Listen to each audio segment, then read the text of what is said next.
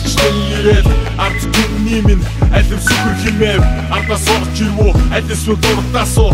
Арчаагүй болгох хараад ицэн цуст ёсоо аргаар түсэн аяга аршаан гэж итгүүч ам холод аваад бүгдийг нь газар хөвтүүлж авах гэснэ аваад арх гэдгээ хаяад явсан.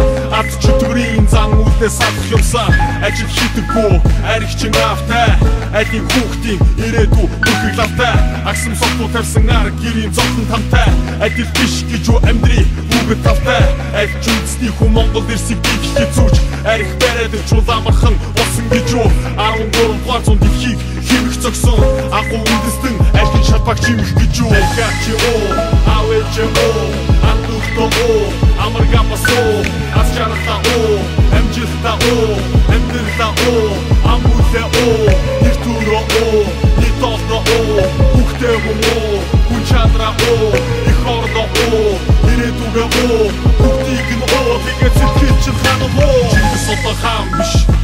Чингис арих болсон. Чингисээ ууга цэжэ дэгтэ Чингисээ ярих болсон. Чингис одоо хаан биш.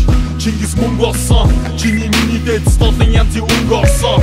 Хар шараалтан Мөртөө эсвэл явган Шингэн зүйл болоод Шилэн лагууд татсан Өчнөөнөө өрөөстэй Өөрсдийн минь багархад Өшөө төрийн сүд Архин дээр бусан архад. Арх чин амар гоё. Архнаас бидний гар Айта уухгүй бол Ирэх хүн биш хар Чихэн нийчүүд хизээ цахтын нөлөө автдаггүй Чингэр нохоо шиг бууж давж явдаггүй Чамаг хордох тоолн хин нэгэн баяжиж байгаа? Чамаг дордох болгон тэгсгээд хайчиж байгаа. Тэднийг тасаглуулж мөнгө өгдөг ATM биш. Тэнгэр заяат Монгол тэгж хурж явдаг юм биш. Гачи оо авэж оо андухто оо амаргамасоо асчарта оо? Амжилта оо амьдрта оо амбулта оо